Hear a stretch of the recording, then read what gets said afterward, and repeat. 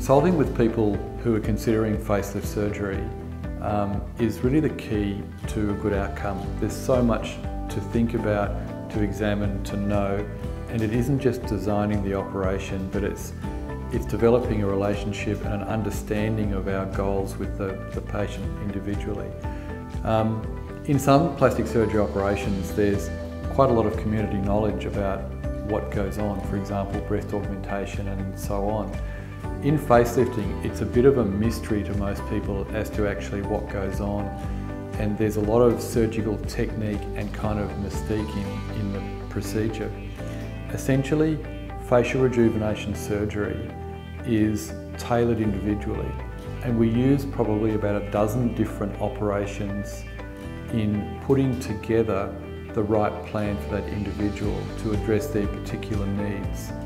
So this can be brow surgery, it can be lower lid cheek junction or tear trough surgery, it can be volume increases, it can be nasolabial fold, jowl operations, SMAS lifting and neck procedures, reducing neck volumes, fixing bands, tightening the, the platysma sling, removing glands. So there's no one operation that's a facelift or a facial rejuvenation procedure. And when people come for a discussion around it, the discussion can be um, based on their age and the pattern of their ageing and their particular desire. It can be focused on one feature or it might be about general ageing. And so the discussion can take whatever twists and turns it wants.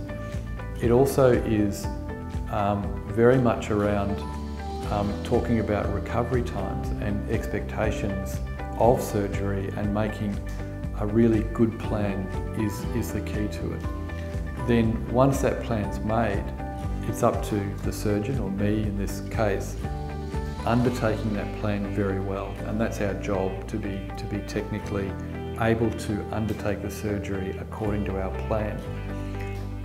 The bottom of all that is clear, a clear understanding and goals of, as to what's being achieved here and the potential risks and downsides of it. So it's a complex thing. It never is a single consultation. I face it, it's a multiple consultation process before I'm happy that, that we have a really clear path forward and that you know all that you need to know about the good and bad of the surgery itself.